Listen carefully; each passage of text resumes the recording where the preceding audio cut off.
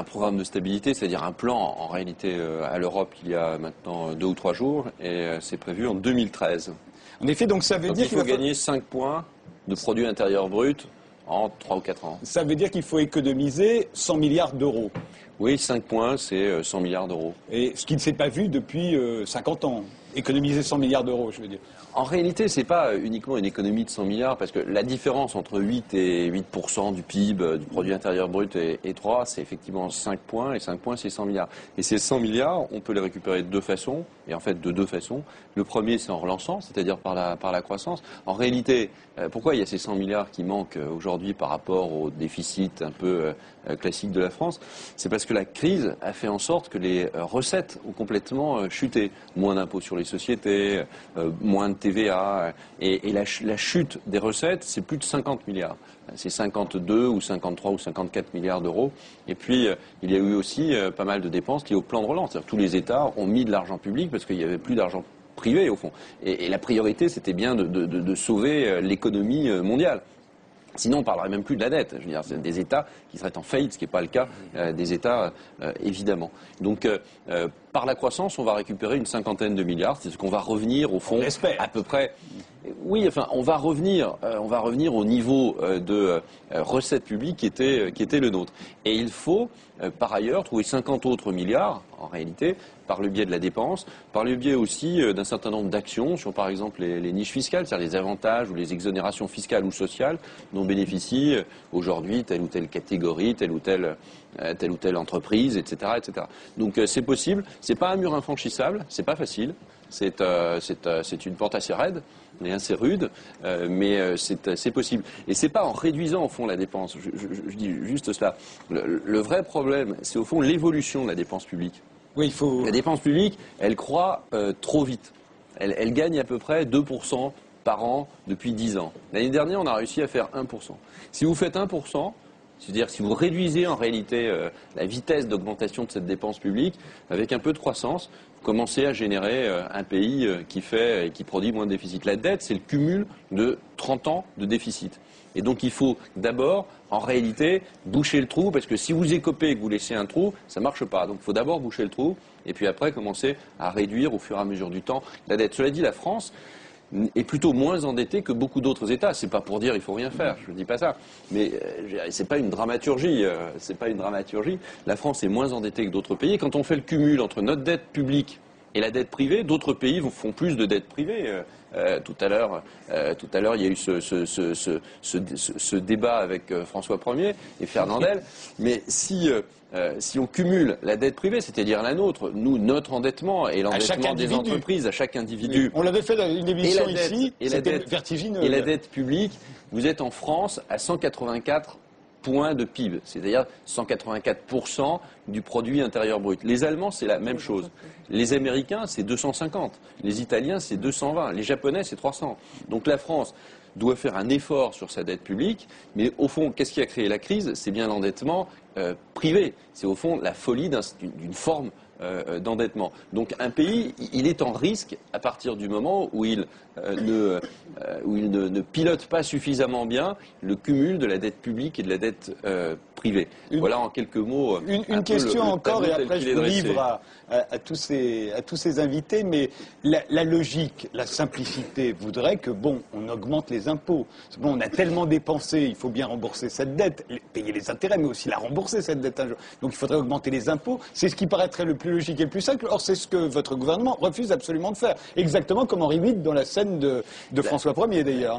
La, dette, c'est la crise. Je, tiens à dire. Enfin, le, déficit, c'est la crise. Non, non, non. Non, La France, a à peu près 3 points de, PIB de, déficit, euh, grosso modo, en déficit structurel. C'est trop. Enfin, l'idée, c'était quand même plutôt de réduire cela. L'idée, c'est n'est pas un pays nécessairement à l'équilibre total. On peut investir pour euh, notamment les investissements. C'est ce qu'on fait avec euh, le grand emprunt. Mais d'un autre côté, c'est vrai qu'il faut essayer d'éviter tout, tout type de, déficit. Donc c'était, c'est possible. Mais la crise elle-même a provoqué une explosion au fond des déficits parce que, parce que de la dépense publique est venue faire les plans de relance. Les plans de relance, c'est de la dépense publique. C'est ça aux États-Unis, euh, c'est ça un peu partout. Et à un moment donné, d'ailleurs, notre propre opposition a dit il n'est pas assez fort votre plan de relance. Vous devriez rajouter de l'argent public. Donc s'endetter davantage. oui, et en même temps, on nous disait euh, mais, mais vous créez trop de déficit. Alors c'était assez curieux comme, comme système de, de pensée. On a fait ce qu'on devait faire. On est sorti j'espère en tout cas, même si les choses sont, euh, euh, doivent être prudemment prises, on sort doucement de cette crise, plutôt mieux que les autres, et la récession en France a été plutôt moins importante que les autres. C'est la réalité, euh, je, veux dire. Donc à partir de ce, moment-là, l'ensemble de notre système public, aujourd'hui, il a été très protecteur pour les Français et très protecteur aussi pour les entreprises. Très protecteur pour les Français. C'était un absorbeur incroyable de, de, crise. C'est-à-dire l'argent notamment des prestations sociales. On a 5, 500 milliards d'euros au fond hein, en termes de prestations euh, sociales, ce que n'ont pas les autres pays, a été euh, très protecteur. C'est vrai aussi qu'en euh, temps normal, c'est beaucoup de dépenses publiques. La France est un grand pays de dépenses publiques. On est le premier pays au monde avec le Suédois en, en, dépenses publiques. Donc l'impôt, c'est pas possible. Parce que l'impôt, on est déjà dans les cinq pays au monde les plus taxés. Donc ce n'est pas une voie à choisir. On l'a déjà choisi au fond dans le passé, et beaucoup. Donc la seule solution, c'est plus de croissance, D'où l'investissement d'ailleurs, plus de croissance, croire en l'avenir, pas uniquement euh, euh, penser que l'avenir en France euh, sera nécessairement moins bon que ce qu'il est ou ce qu'il a été. C'est croire en notre avenir et puis en même temps préparer cet avenir et en même temps réduire la dépense publique. 55% de dépenses publiques aujourd'hui en France, c'est trop. Oui, je voudrais simplement que les téléspectateurs comprennent de quoi on parle. Parce que jusque là, ils n'ont pas compris. Ils ont cru que nous étions en train de parler, ben, vous allez voir, que nous étions en train de parler d'un déficit de l'État qui était passé de 3 à 8% De la sécurité sociale Entre nous, hein. ce n'est pas terrible, un déficit de 3 à 8% Il se trouve que c'est un mensonge. C'est un mensonge officiel parce que comment se calcule un déficit? Eh bien, on prend l'actif, le passif d'un même compte, s'il vous plaît. Et puis on voit le pourcentage. C'est ce que Alors là, on a 350 milliards à peu près hein, euh, de dépenses, à peu près 140 milliards. Pour, juste un instant, pour l'État, on parle du déficit euh, là, je parle du sur l'ensemble de la dépense publique, donc il y a la sécurité sociale, etc. Du déficit donc c'est sur 1000 milliards. Et donc, euh, si vous faites le calcul, vous dites, mais ça ne fait pas 3, ça ne fait pas 7%. Non. D'habitude, c'est 3% le déficit de la France, avant la crise. 3% du PIB. En réalité, le déficit de l'État, ça veut dire à peu près 20%.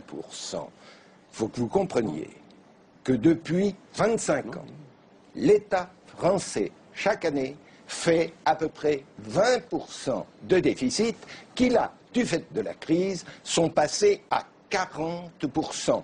Alors je pense que si on avait dit les choses clairement, parce que les technocrates ont inventé cette histoire insensée, en pourcentage du PIB. C'est à peu près comme si on prenait le déficit de la France et qu'on en calculait le pourcentage par rapport au budget de l'Union européenne. Ça n'a aucun sens. Par rapport un déficit, un déficit, monsieur le ministre, ça se calcule sur un seul compte. Il y a les recettes de l'État, les dépenses de l'État et quel est le décalage entre les deux Le décalage, avant la crise, il était de près de 20%, c'est dans le rapport Pebro, et à l'heure actuelle, il est passé à 40%. Maintenant, que les spectateurs comprennent ce que ça veut dire, la Maison France, depuis 30 ans, tous les ans, fait 20% de déficit. Et c'est comme ça qu'on a réussi à atteindre maintenant une somme de dette qui va bientôt égaler et dépasser le Alors là, visiblement, personne n'est d'accord.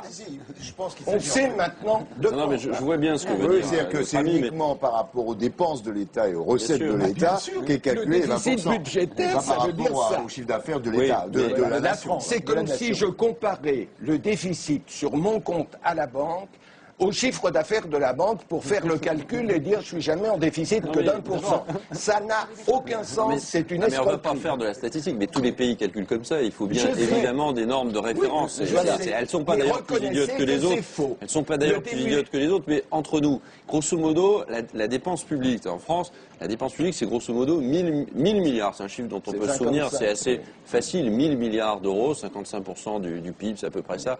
1000 milliards d'euros. Le déficit, il est d'or, il est de l'ordre de 150, 160 milliards d'euros. Euh, donc euh, ce déficit public, il est à la fois le cumul du déficit de l'État, du déficit de la sécurité sociale et du déficit des collectivités euh, locales. Il doit être comparé par rapport à la richesse du pays. parce que c'est la façon. Parce que, il est comparé par rapport parce que la richesse du pays, c'est le chiffre d'affaires dans les yeux. Répondez-moi, les yeux dans, les yeux. Quel est le déficit budgétaire de la France aujourd'hui? Quel, pourcentage, quel pourcentage du déficit budgétaire Par rapport aux recettes de l'État, évidemment, il est plus